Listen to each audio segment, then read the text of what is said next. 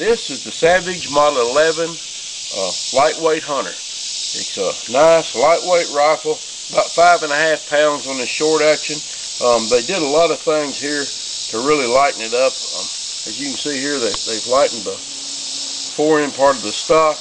It's uh, got a nice uh, trim stock on it, good thin wrist on it. The bolt has been fluted to lighten it a little bit. Also, the receiver has been lightened on both sides, just a little bit here and there to take a little weight off of it. Got a 20 inch trim little barrel, makes it really nice and light, easy to carry, easy to carry all day.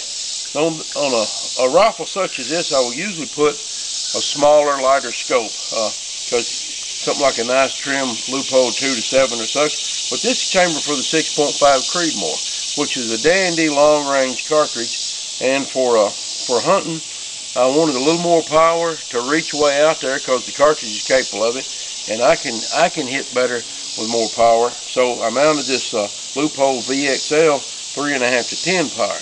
What the VXL does, which uh, somebody should have thought of this years ago. Leupold's had it out for a couple of years now. I'm gonna open this up and point this right at my brother.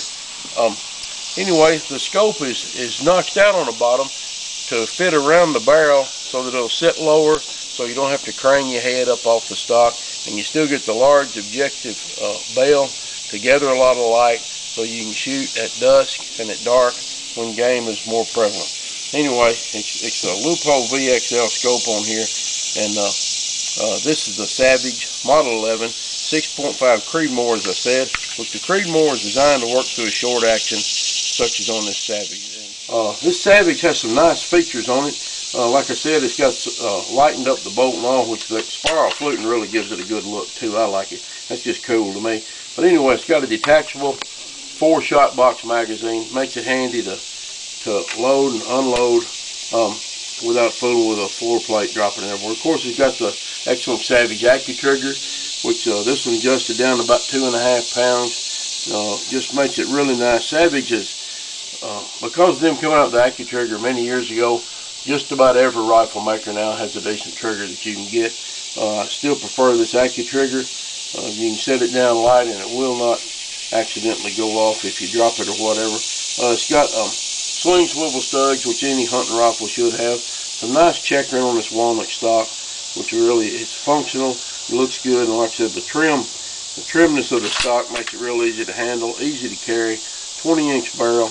Uh, we're going to talk a little bit about the Creedmoor cartridge now.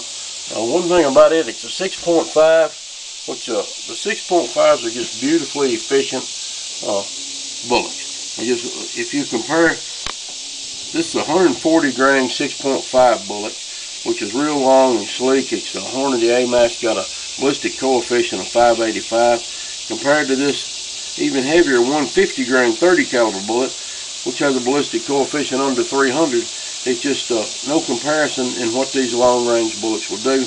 The, the cartridge and the bullets were designed for long range and it um, it's real efficient at doing so.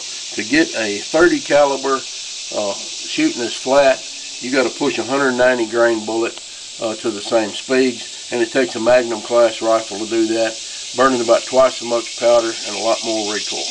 I'm shooting a lot of this Hornady ammo. I've got the two bullet weights in this. I've got the 140 grain AMAX, and I've also got this 120 grain AMAX. Besides that, I've been hand loading some uh, 140s and some of the good hunting bullets also. Um, with its lighter weight, even the 100 Noslers, which is a dandy little deer bullet out of the Grendel. Might be pushing a little too fast out of the Creedmoor, don't know.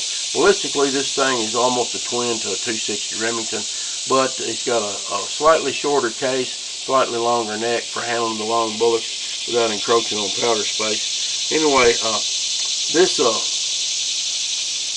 Savage has a, a, bit of a short barrel, and I was worried about losing too much velocity in that 20-inch barrel compared to what I've been shooting. Uh, for instance, I chronographed this same load oh, a couple of years ago out of a 28-inch uh, barrel, was pushing about 2,860 feet per second.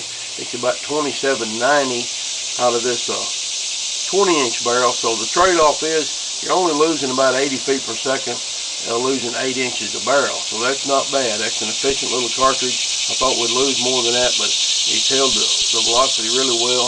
uh, keeping the flat shooting capabilities of the Creedmoor cartridge. Handy little hunting rifle. Uh, this light, little lightweight rifle, it's easy to carry. Uh, 20 inch barrel, makes it real handy, short overall length. Anyway, it's, uh, uh, lightened up every way they could. Uh, this scope is a little heavier than I would usually put on it, but still, the scope and mount, this uh, 3.5 10 VXL only adds about a pound, so you still got a 6.5 pound rifle. Uh, recoil don't hurt at all, don't hurt your shoulder at all. Uh, nice efficient little cartridge. Uh, it's got a nice butt pad on here, but uh, it's not really necessary because the cartridge just don't kick that bad. But it's an excellent little hunting cartridge, deer class game. It's just about ideal.